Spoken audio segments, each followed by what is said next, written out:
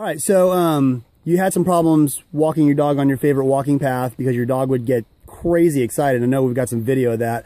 How did we do today?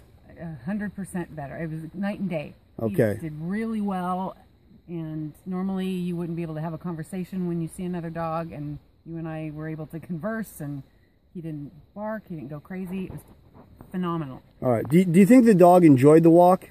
Yes. Good. Okay. Because I don't, you know, I don't like to put too much pressure on a dog because I think it just takes the fun out of it. no, he's, he's Um, still happy. Yeah. Good. Good. All right. Well, uh, we'll keep working, and um, I'm glad you guys are making some good progress. Thank you. You betcha.